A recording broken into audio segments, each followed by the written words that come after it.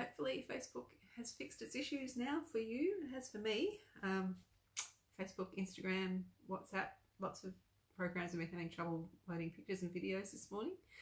So hopefully that's all fixed for you wherever you are. Um, yeah, I'll just record this and you can watch it later if not. Um, yeah, so I've been pretty busy even though I haven't been here. I can't believe it was May the last time that I did one of these. Uh, yeah, just time flies. What's going on? But I have time today. School holidays. Good morning. Um, so I can hop on and show you a few things, a few exciting things, tell you a few exciting things, and um, yeah, let's get started.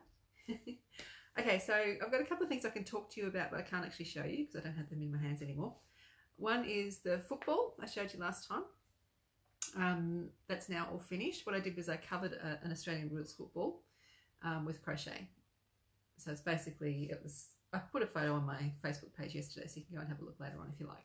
Um, basically flowers, roots, seeds. It's all about transformation, the, the thing I did it for. Um, so it's part of, um, let me read my notes. Um, it's now on display along with lots of other good morning. Lots of other footballs transformed by artists have been painted and they're amazing. There's so many of them. They look fantastic. There's a special um, shipping container, specially designed to display the footballs in Mount Gambier near Main Corner and the Sinkhole Garden. Um, the opening was last Friday night. I couldn't go, unfortunately. I had something else on. Um, but the, uh, there's an auction for all of the footballs. they do. all of the footballs up now. And I'll, I'll put a link down to, below to everything I'm trying to talk about I won't say that again, but I'll put a link in the comments later where you can go have a look at the footballs. And if you like, you can make bids on any of them, including mine, to raise money for Youth Opportunities. Now, Youth Opportunities is a, an organisation, a not for profit um, organisation running out of Mount Gambier. Well, they have branches everywhere, but the Mount Gambier branch is where I got involved. Um, and they work with um, disadvantaged youth and give them mentorship training, leadership skills to get them going on get, get them going with their lives. Um, and they do a really great job. They have lots of kids, I think about 150 just in the area each year that they deal with. And yeah, it's a really worthwhile cause. Um, yeah.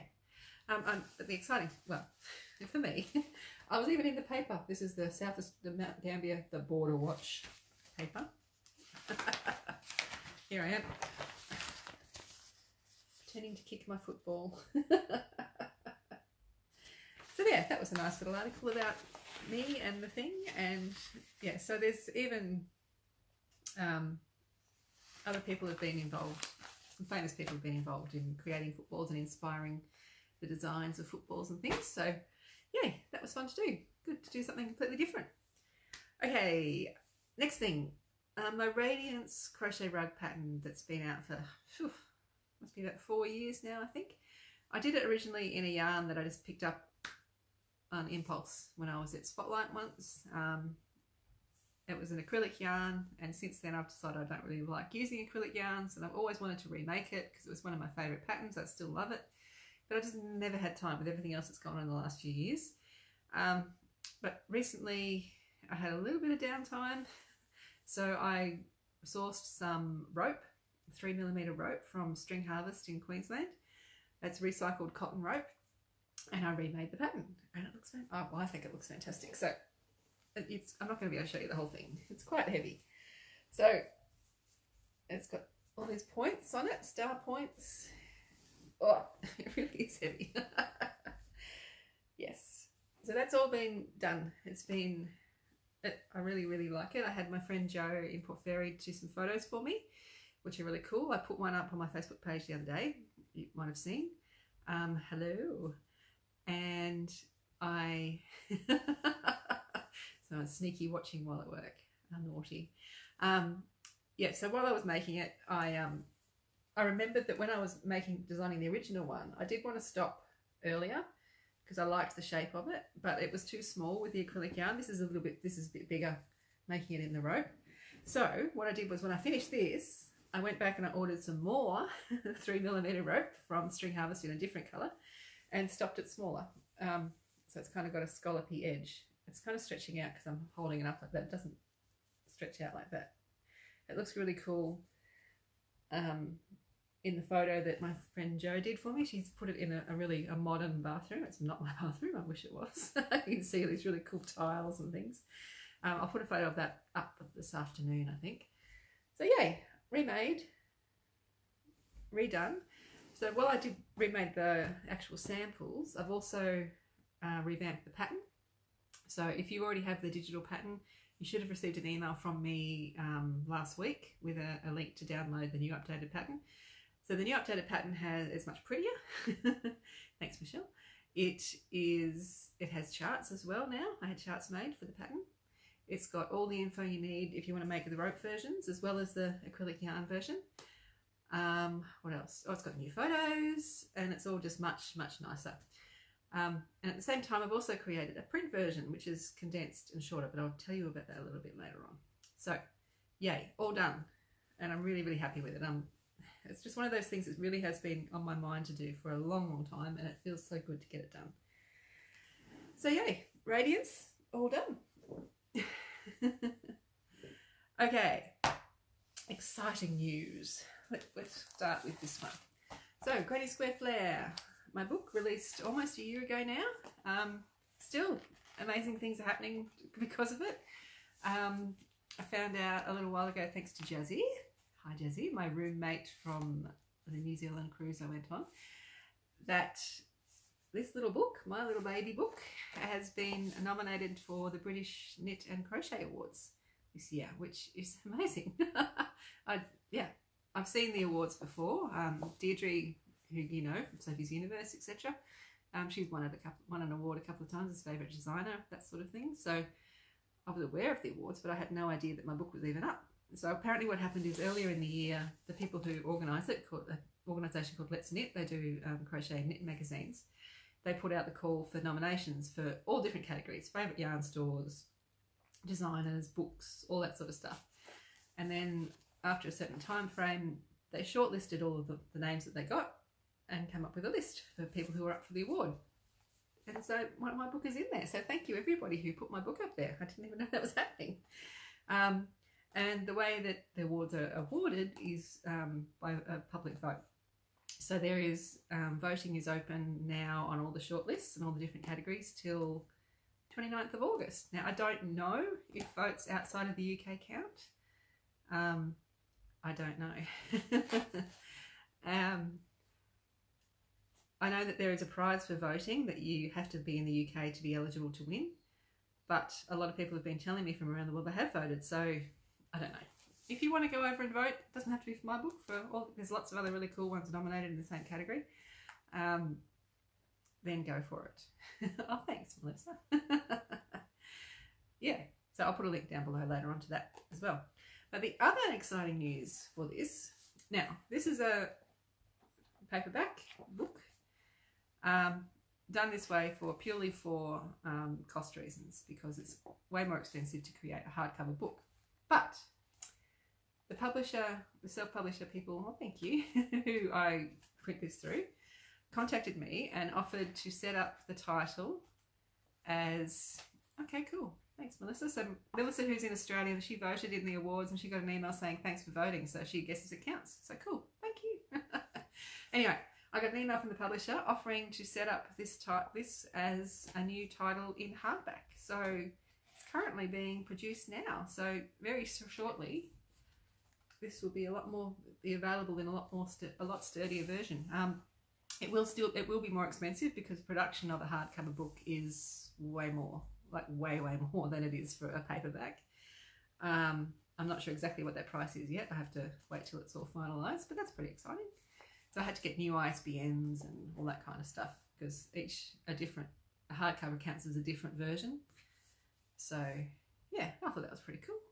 So if you want a sturdier version for your for your bookshelf to keep, um, that will be available soon. I'll let you know. I can't wait to get one in my hands actually to see it. So that's pretty cool. Um, what else is there? Aha, new books. Okay, so I'll do this one first. so a little while ago this year, earlier this year, I did the Beneath the Surface Crochet Along project and lots of you did it, and it looks fantastic. There's some there's a really amazing, like super bright rainbow version posted in my Facebook group the other day. It's like all different, all the squares are different, really bright colours with a, a dark colour doing the surface crochet on it. It looks fantastic. Anyway, um, so well, the, the PDF that we created for this. Ah, that's cute, Sam. Sam's saying she'd like one because her daughter reads them as bedtime stories. that's cute. Anyway, the PDF that we created for um, Beneath the Surface, when I say we, I say Michelle, my graphic designer lady, friend. Um, it was pretty much formatted how a print book can be. So we thought, hey, why not make it into a print book? So, Beneath the Surface, it's, it's very little, it's 38 pages. Beneath the Surface, UK, US terms, is now available in book form. Well, pre-order. I'm going to release it. The release date, official release date is the 19th of July, Bendigo Wool and Sheep and Wool Show. But if you would like a, a hard copy of, of the book, um, I'm trying to go through it a little bit. So you can see it's, it's exactly the same, pretty much. There's a few little differences. Um, but it's all, everything for Beneath the Surface is now in here. Even the, all the hints and tips, the layout, the charts, um, all nice and big so you can see them. And even all the round by round photos. So it's a great book for beginners because all the information you need is in there. So how to work out your yarn and all that sort of stuff that I provided in it is in there. So this is my entry level you know if you can do a granny square and want to move on this is what I would recommend you do next I think now because it has all the video support and everything as well. So yeah this is available in my shop for pre-order now, or you can get the digital version if you have been able to. cool, thanks. for a long time. So, yeah, that's exciting. I like it. It's good to have something in your hands, I think. But what you're all waiting for, I know, is this one. Yay! Siren's Atlas. It's all done. It's all finished. Um, I ordered and they have just arrived in time for Bendigo, which is in, oh, it must be two weeks today. I'll be there, I think. So, yay. So again, available for pre-order now in my shop if you're in Australia. Um, and I will send it to you after I get back from Bendigo because I need to take everything I have with me to Bendigo because I have no idea how many I need. Um, and yeah, but if you're not in Australia and you would like to order this, it's available for pre-order on Amazon, UK, Amazon in the US, on Barnes and Noble in the US. So I think it's number number three in the new releases or soon to be anyway on Amazon. I looked at that this morning. It's exciting. so again, US and UK version. They look pretty similar, but down the very bottom there, I know it's backwards. You got UK version, terms edition. So let me show you. I'll tell you a little bit about it. All right. So there's the front, and here's the back. So this is, let me read the back for you. so Siren's Atlas is your guide to crocheting an ocean of granny squares inspired by the colours of the high seas. Each of the 64 patterns is a fun new take on the traditional granny square named after a sea, ocean or body of water around the world. Perfect for the intermediate or ex expert crocheter looking for a challenge and to improve their crochet skill and knowledge. So there you go. That's the back. So there's the original Siren's Atlas collection had 52 patterns. I've designed 12 more that are just in this book. It's the only place you'll find them. Um, it's not the same as Granny Square Flare in that in Granny Square Flare there was a lot of information in the beginning about your hooks and your yarns and little tips and tricks, how to join, a little border, all kinds of information. Because this is for people who already know what they're doing, none of that's not included. But having said that, there is still some stuff at the beginning that I think I need to include because it's specific to my patterns. So let's have a little look. It's really cute. I mean, the idea is that there's a, a siren, a mermaid siren swimming around the oceans and she needs a map to get around. So that's why it's called Siren's Atlas. So with Michelle, my graphic designer, sorry, I have a really itchy nose today. I'm sorry I keep itching it. Um, have it created an old world map feel for it. So we've got these old illustrations of mermaids and things and islands. Michelle's created all of these maps for me. Um, so the whole thing is sort of got a parchment, it's probably a bit hard to see in there, but it's like a yellowy parchment, old map sort of feel. Um, that's where I talk about the inspiration for Siren's Atlas and a bit of the history of sirens. So sirens actually didn't weren't originally fish. They were actually half bird, half half women. Yeah. So anyway, I know a little bit about that. but then, as I said, there are still some things that you do need to know if you're new to my pattern. So I've talked a little bit about, you know, what yarn and hook I use, like a little bit. That's it.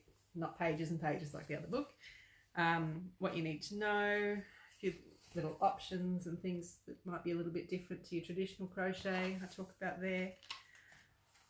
Um, how to read my patterns and charts because I write mine in a very specific way so that's all included in there. Cute little zippy pouch. um, talk about stitch counts and how they're different. Don't you love that photo? It's so cool. Josie did such a great job with the photos. Um, yeah, all that sort of stuff. And then, as you've seen, there's been a few photos through the thing. Here's another one. Now, rather than have a list of uh, projects as, you know, here's this project and here's how to make it, I've just said granny squares are not just for blankets. You can make cushions, scarves, bags, garments. The only limit is your imagination. But then I've given all of the yarn information for the projects that I have done. So, you know, for example, this wrap here, I've said I've used Great Ocean Road, Woolen Mill, Lobella, Alpaca and Merino 4-ply in the grey colour. I used a 6mm hook. The layout was 3 by 11 squares and I used this pattern Cortez on page 23. So you know what you're doing if you have this book. So that is enough information for you to be able to make that if you want to make it exactly or change it to do it whatever you like. So all of the, the sampler blankets, all that sort of stuff, I've got given the yarn information and hook information there. And then it's into the patterns. So the index pages are fun. I like them. So Michelle's created. We've got an index here, a photo of the square and the name of it and what page it's on. Then we have a world map. And each one is numbered. It's probably a bit hard to see, but there are numbers all on the map. So if you crochet these in order, you actually take a trip around the world. I know that's silly and fun, but that probably means something only to me, but I thought that was cute. So that's 32 patterns and then there's another 32, making 64. So you end up by going around Antarctica. There's a lot of oceans and little bays and things that I've named patterns after there. You have a look around Australia, you can see lots of numbers there, but they really are all around the world. So yeah, and then it's on to the patterns. So you'll notice that the patterns, they're all done in my blues and the charts have been made to reflect that as well. so um, the patterns are written for, for the colour changes because these are my blues. I've used Bendigo Woolen Mills cotton. I should have the sample blanket here to show you, but I don't. How silly was that? So anyway, the patterns are written for the colour changes that you can do whatever you like because you know what you're doing. That's not a problem. Um, yes, so there's 64. Let me try and, where's one of the new ones? I've shown you the new ones in person before. Yeah, that's one of the new ones. They're Coro which is, might be the one we, one of the ones we're doing on the cruise if you're coming in October. Um, yeah, so there's lots of patterns, lots of patterns, lots of patterns. Oh yeah, and at the top of each one, there's a little bit of information about the sea, the longitude and latitude of the of the ocean, and a, and a close up of the world where the where the um, the sea is. So that was really cool. Cute little baby bum. And then we have a glossary that has all of the stitches, all of the symbols explained in words as well as the symbol for them. So you can follow it along. Then we have this page here, yarn information. So this is the specific um, meter, meters that I use for each colour for each square listed. So this is where you find the details of the yarn I used to make all of the squares. Of course, you can use any yarn and hook combination you like. But if you use similar to me, then this is how much yarn you will need for each. Each square is listed individually with the yardage for each one and there's totals down the bottom as well. And then we have the thank yous and a little bit about me. And this photo here, I really love this photo. It's taken in Milford Sound um, by Kirsten for me when we were on the cruise. So that's lovely. um, thank you for that, Kirsten. So that's it. That is my book. So as I said, because there's a lot, um, there's no projects and uh, less information up the front, it's a little bit thinner. than Granny Square Flare. Thanks, Sam. Um, but it's uh, again the the meat of the book are the 64 patterns. So there's actually more patterns in it, and hopefully that's inspired you to maybe get a copy for yourself if you if you would like. Um, I need to say too that if you um one of those wonderful people who purchased the complete collection of Sirens Atlas originally when it was released back in 2017, you should have received an email from me with a link to download the digital PDF version for free now, which is also available for free. Uh, not for free. It's available to purchase in my shop now. You don't have to wait till the book's released. Um, but if you would like a, a Kindle or Kobo or e-reader, uh, some other description version, they're coming. They're just not quite ready yet. So yay, that's that. Exciting. Um, yes, so yes, you can pre-order it now. I'll post it when I go back from there. Yay! oh, thank you, thank you, thank you for those of you who've already ordered it. It's really cool. All right, uh, written patterns. Now, because I'm going to Bendigo in a couple of weeks, which I really haven't realised it was a couple of weeks until I said that before, um, as well as having the three books. So, beginner, intermediate, and advanced, the three books there. Um, I will also have some written patterns. So what I've done is I've taken seven of my patterns, including radiance, and I've condensed the, the important part, the written part that you need in front of you when you're crocheting, down to as short as possible and printed it out. So the thing is, my patterns, they're, they're quite long. They were never intended for printing. Um, if you purchase the original, you know, like the Mayan blanket, for example, the PDF is 80 pages long. 80 pages. because it's got so much help. It's got round by round photos, it's got charts, it's got help, hints and tips on the tricky parts that you might get stuck on. It's got so much extra information that you don't actually need in front of you when you're crocheting. You only need the written pattern in front of you when you're crocheting. And I always have condensed that part in, in my patterns so that you can just print those pages. But still there, um, some people don't realize you can do that. You can only print, you can only choose to print some pages. Some people still think you have to print the whole thing. And I do get requests quite often for um, printed versions. Well, I get the pattern in the mail. so I've decided that I will do that thing. So this is the Mayan one and I've condensed it down into, so you've got all your abbreviations are in there, a little bit of an introduction, and then it gets straight into the pattern. So you can have all that next to you, right next to you as you're going, the pattern, the pattern, the pattern, and then on the back, it's got all the yarn information and it's got a code for you that you, so you can go and download. If you buy this from me in person, you can go and download the digital version and you'll have all the help online. So if you if you're on say, you know, round I don't know, 21 and you're not quite sure what to do, you can go get your device, your computer, have a look at the PDF. All oh, right, there you go. You can blow up the chart, you can have a look at the photos without the need to print them and waste paper and ink because it's expensive printing. So that's that. I will have patterns for sale at Bendigo.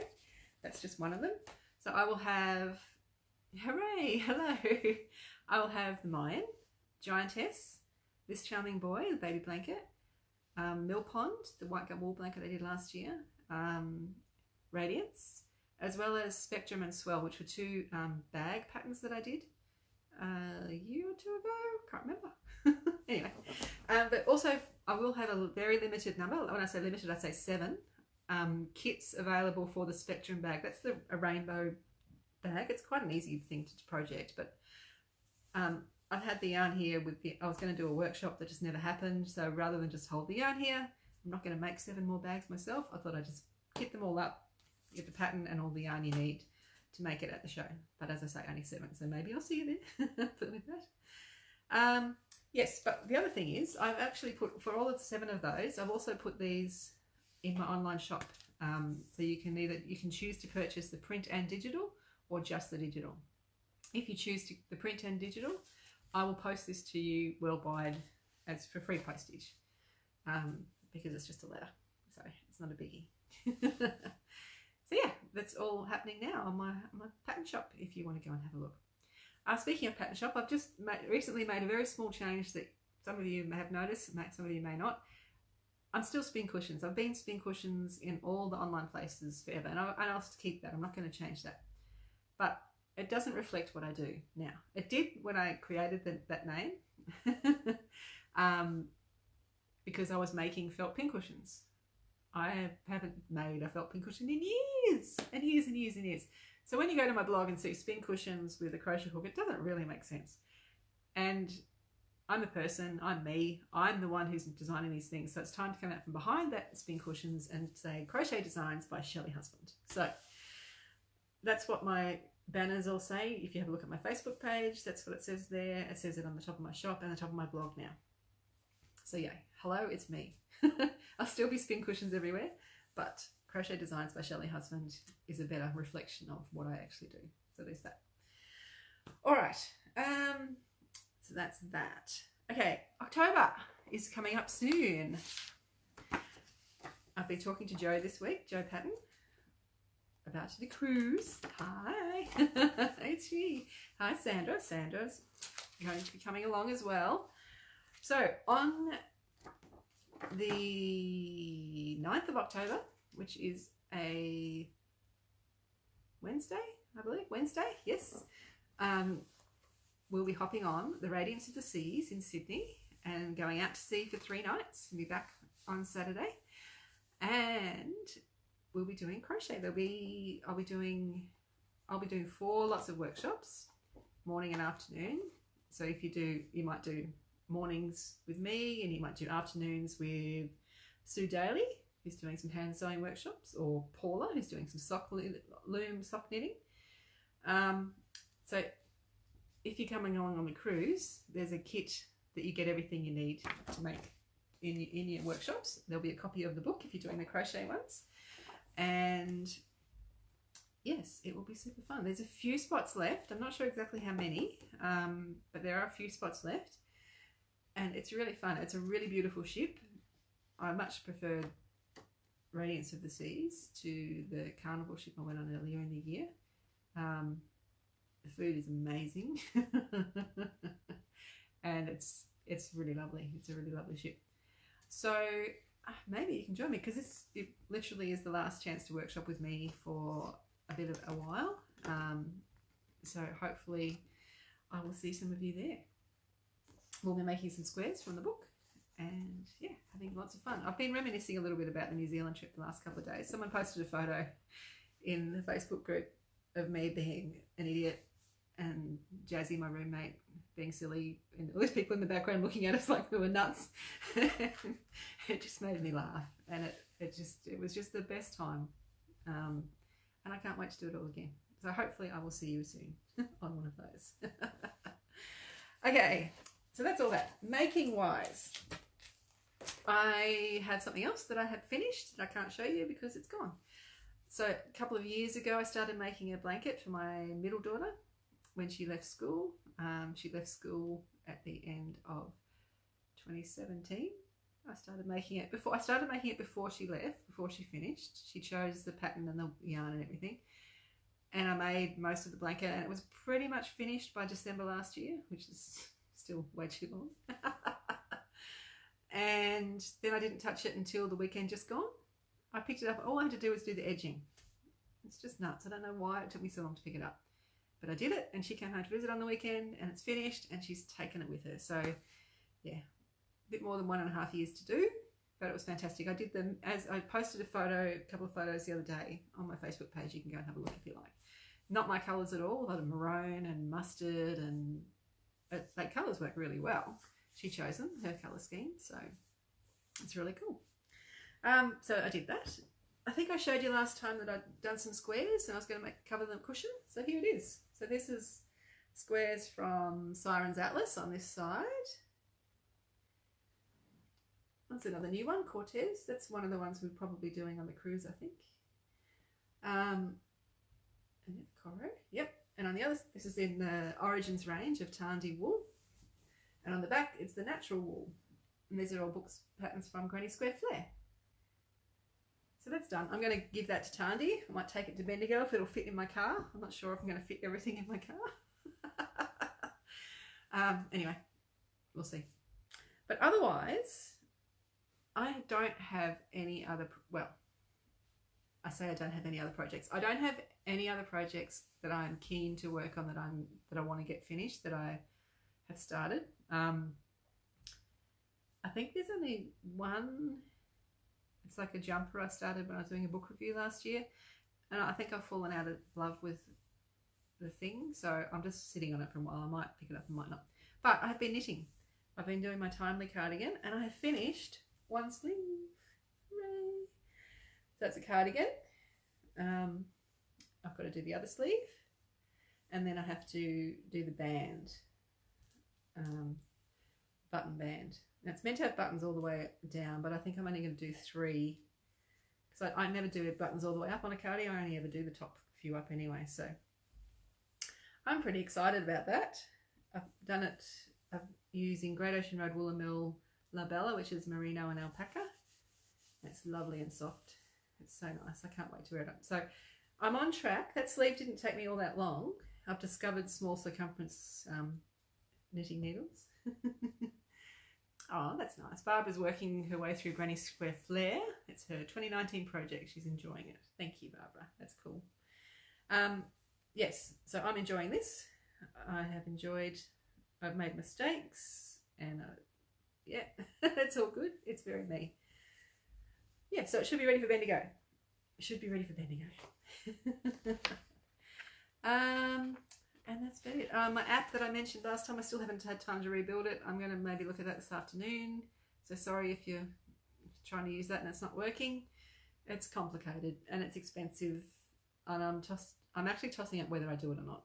To be honest, um, the platform I was using was relatively cheap.